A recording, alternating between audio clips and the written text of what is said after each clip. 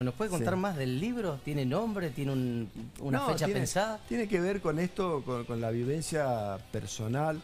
eh, te- siempre hay un ser humano atrás de, de cualquier... Es lo que queríamos. claro. Y, y realmente fueron momentos difíciles, ¿no? Porque es como recibir... Ya que lo hemos agarrado un poquito Sí. anecdotero, Sí, cuando fue lo de no, no va a haber fase 1, sí. ¿es cierto que lo llamaron de un canal de televisión de Buenos Aires que le ponían un helicóptero, todo, avión, todo, para ir esa noche a debatir? Sí, pero no, no, no, no, no quise tener, eh, no di ninguna entrevista nacional, porque no, no, no, no quise tener un rédito político de eso. Realmente lo hacía en el convencimiento de que era lo mejor para, para la gente. Yo, hemos, cosas muy emocionantes. ¿Ustedes se acuerdan? El Día del Estudiante. ¿Mm? Sí. Nosotros no estábamos en fase 1, estábamos liberados. liberados. Pero venía el Día del Estudiante. Sí. Entonces, y grabamos un mensaje y dijimos, le pedimos que no salgan. Este fin de semana, festejemos el estudiante el año que viene, cuando esto pase todo, pero sin ninguna normativa eh, coercitiva o legal, simplemente un pedido.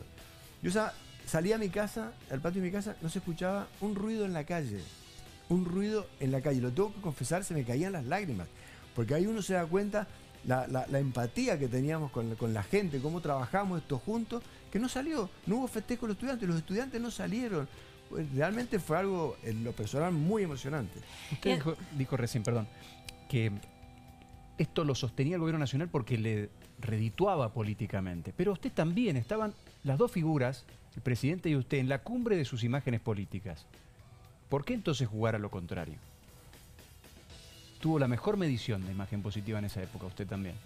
Bueno, porque, porque, porque sería un absurdo hacer lo otro, sería egoísta, sería mirarse el ombligo y pensar en uno mismo y en su ego y en su carrera política. Yo estoy bastante lejos de eso. Carrera Pero política. sí les dije, ustedes pusieron una frase que dije y la repito siempre. Yo no soy gobernador, yo trabajo de gobernador. Es un trabajo que tengo. Porque creerse gobernador uno se puede llegar a creer muchas cosas, que es lo que le pasa a muchos políticos. Eh, o se empiezan a ver a sí mismos, se creen que la gente lo ve como ellos se ven a sí mismos y no es así. Entonces, bueno, eh, la prioridad es la gente siempre. Eh, gobernador, lo meto un segundo, lo, lo vuelvo a la, a la realidad o a lo más actual.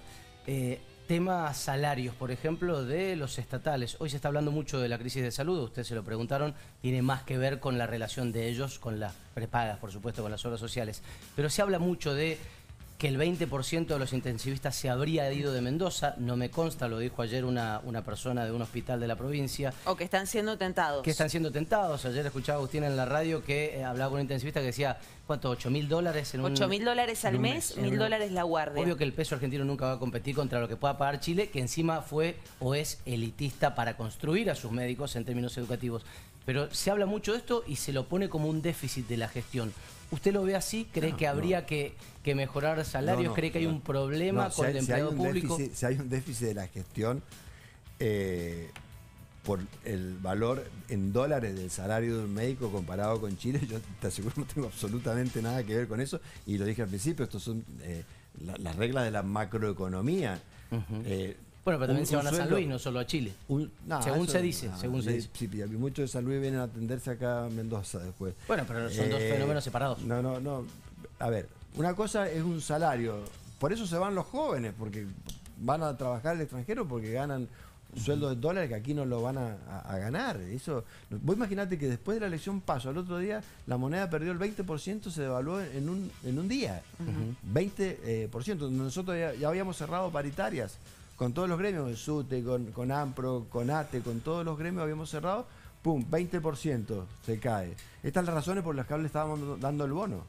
Primero porque lo podemos dar, porque tenemos un Estado ordenado y tenemos las cuentas para poder hacer esto y llegar en estos momentos que la está pasando tan mal la gente, porque no nos olvidemos la gente que la gente la está pasando muy Sin dudas. mal. El tema de, de- de las prepagas, más allá de que es algo que no le compete directamente al gobierno de la provincia, ¿han intentado interceder ustedes con, el- con Sí, alguna... hablamos, hablamos en forma permanente con el sector privado. Porque ¿qué está ocurriendo? ¿Qué está ocurriendo? El sector público está recibiendo muchísima más gente para atender. Claro. Claro. Sí. Primero porque la atención es buena. Sí. Segundo porque la gente deja de pagar la obra social y se va a atender con, con efectores públicos.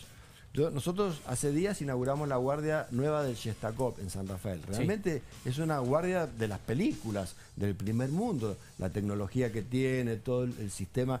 Entonces, bueno, la, la gente empieza a decir, bueno, esto no lo pago, porque tengo que comer, me voy a atender al sector público. Bueno, son los conflictos que estamos teniendo en nuestro país. Vamos a pasar un poquito a política, o, o más concretamente a política partidaria, pero antes tengo una pregunta que para mí es introductoria. Eh, le pido que vuelva al eh, Suárez eh, anecdotero. Sí. ¿Quería ser vicepresidente? Eh, no, Epa. Pero lo dudó. ¿Y a quién se lo dijo? a mis hijos están ahí. Eh, ellos sí querían, Ellos sí querían. sí. ¿Y usted por qué no? Eh, por cuestiones eh, personales, de, Momentos. de momento. ¿Y se lo llegaron a ofrecer? Hubieron conversaciones, se, se nombraba, y entonces venían y me preguntaban. No, no, no. Pero usted de, Eh, de pero yo en el no. interior eh, no, no, Pero hubiera dicho que sí, a lo mejor. no, Ajá. ¿Alcanzó a decir que no? no. Tampoco. Se lo guardó, digamos, porque uno cree que la Una gente cerca fue- suyo fue una conversación sobre todo familiar. Bien, Pero eh, algo, algo me lo decía adentro. que no.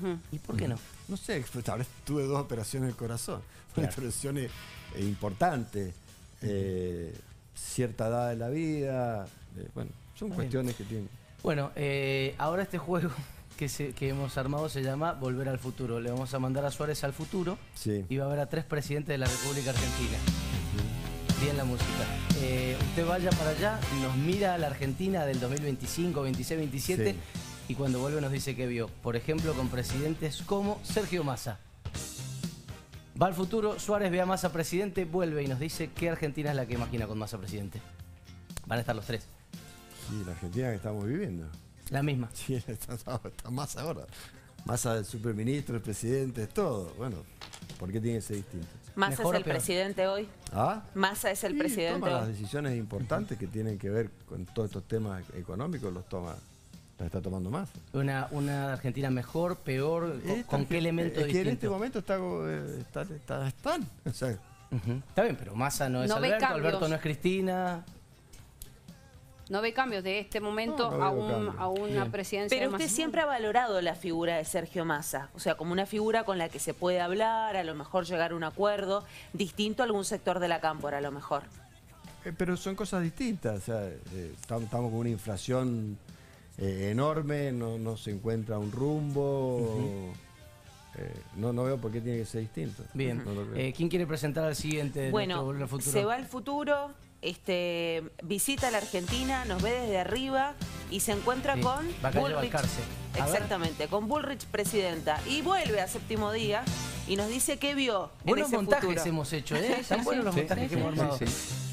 Bueno, yo, Patricia, creo que tiene el coraje, la voluntad para que haya cambios. En la sociedad hay un deseo enorme de cambio, de cambios profundos. Creo que, que Patricia tiene, tiene todas la- las condiciones para llevar la- a una Argentina de, de cambio, en el sentido de tener el coraje para hacerlo. Creo que tiene los equipos, que tiene la experiencia. Yo me, me encantaría que, que sea así y que en el futuro, vamos a decir, bueno, empezó a cambiar este país. Empezó a cambiar, porque nada va a cambiar de un día para ¿No otro. está muy silenciosa Patricia Bullrich en estos días? Uno esperaba que una Argentina saqueada hablara una de las referentes que más se refiere al tema de seguridad. ¿Por qué no habló? No, no sé. ¿Y la ve No, no callada sé. o no? No, no, no. ¿La ve cayendo en la- en las veo- encuestas? Veo muy bueno lo de Merconian, la reunión. Que es mañana, mañana casi se presenta como posible ministro. eh, lo veo muy bien. eh, el equipo económico que tiene, cómo se está trabajando. ¿No la ve cayendo en las encuestas, gobernador? No, no. No, no, no, no, no lo veo. no. Bien. Rosy Bueno, eh, pasamos a un escenario distinto, gobernador, con una posibilidad que parece bastante más cierta eh, en función de lo que pasó en las PASO, digo. Por supuesto. Uno puede evaluar que, esta, que este escenario sea quizá el más eh, posible. Me refiero a que usted se va al futuro y se encuentra con un Javier Milei de presidente. Va, lo ve en acción y nos cuenta que No, no, no lo sé. No, no, no, lo- no, no, no, no, no sabría no sabría decirte, o, o yo no puedo diferenciar eh, sus propuestas con, Con la con lapicera, por llamarlo de alguna manera, ¿no? Cómo, cómo se compatibiliza todo ese bagaje de, de propuestas eh, y gobernar, ¿no? Porque Usted dice que son incompatibles lo que, no, lo que no lo sé, propone no lo- no lo sé, que con lo que se podría concretar. ¿Qué es lo más loco de lo que propone mi ley para usted? Bueno, la venta y comercialización de órganos creo Mm. que... O Que no está en la plataforma, o el lo ha hecho dicho, de, no está en la plataforma. de dinamitar el Banco Central, por ejemplo. Pero ahora se está moderando más, la verdad Sí. que no, no lo sé. Claro. Eh, eh, hay, ¿Coincide en alguien que, algo? hay alguien que no lo conozco. ¿Lo ve en No, la no- segunda vuelta? A- a bueno, con estos números, Sí. Sí. sí. ¿Pero lo ve con Massa o lo ve con Bullrich? No lo sé. ¿Coincide en alguna propuesta? ¿Le gusta alguna? Eh, la verdad que Le ayudo con una. tendría que pensarlo mucho. Le ayudo con una. Eliminar los fondos discrecionales a las provincias. Sí, me parece bien eso. Bien. Esa me parece una buena ¿Y dolarizar? propuesta. Pero dolarizar yo creo que es muy difícil. Ya él mismo dice que ya no es ahora, que es más adelante. Sí, nueve Que hay meses. que ver, nueve meses, que... Por, por eso, o sea, eh, hay que ver cómo funciona el Pero- famoso teorema de Baglini. Sí, sí, que ¿no? ya parece estar empezando a funcionar. este, bien, pero una, una cortita sobre esa. ¿Es viable en la Argentina dolarizar, sí o no, para usted? Eh, la, la verdad, siempre aclaro esto, yo no soy economista. Sí. Eh, no, no creo tener el conocimiento para decir si es viable o no viable. La verdad que, Muy bien. la verdad que no lo sé. Muy bien. Hubo un crecimiento interesante de Javier Milei en las últimas elecciones en la provincia, pero quería preguntarle por el escenario de este próximo domingo. Este, ¿Piensa que el radicalismo puede ganar algún departamento el domingo?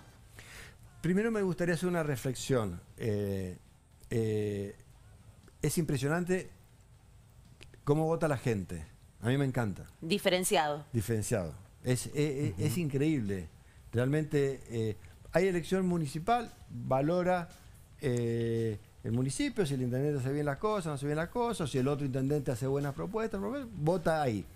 Elección provincial, vota de acuerdo Claro. a, a las variables de la provincia, a ver, eh, Suárez ha gobernado bien, mal, eh, Cornejo, sí, un tipo que cambia, un tipo innovador, me gusta, lo, lo- lo voto.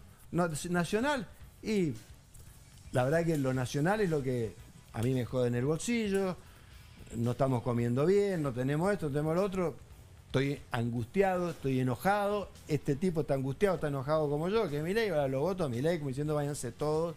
Por eso cuando hablamos de propuestas, eh, yo, yo no creo que el voto de mi ley esté motivado en sus propuestas. Pero es un vo- voto volviendo, y, y entendiendo esa reflexión y compartiéndola incluso, ¿ve alguna posibilidad de que el radicalismo se quede con algún departamento este domingo o está difícil?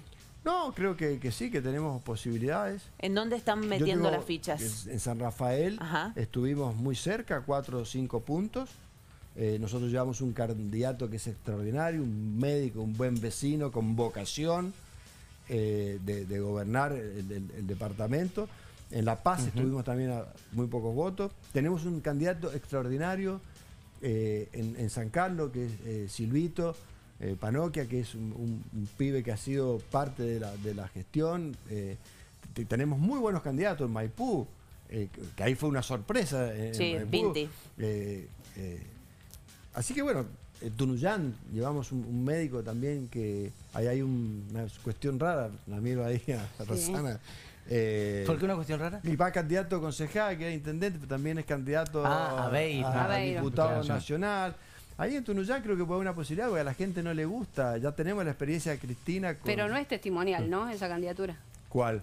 ¿La, la de concejal o sí? ¿Usted si cree que sí? Es candidato a Bueno, por eso le pregunto. Pero, pero primero se va a votar a concejal, se supone que puede asumir a eso o, o No, ya dijo que no va a ser, no ya dijo asumir. que no va a asumir. Ya dijo que no, Que no va a asume. subir. Que no asume como concejal. Claro. Por eso. Bueno, no Se va a la nación. Bien. Ahora, Eh. eh, gobernador, usted el 11 de diciembre ya dejó la Casa de Gobierno. ¿Se ve en el Senado? Por supuesto, porque creo que Alfredo va a ganar.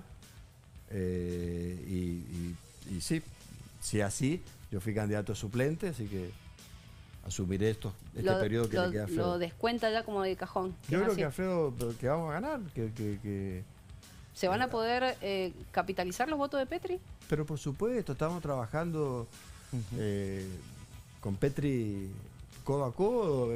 Hemos tomado propuestas de él, hay una conjunción importante ahí. Bien. Eh, Pablo, ¿tiene una muy breve o no?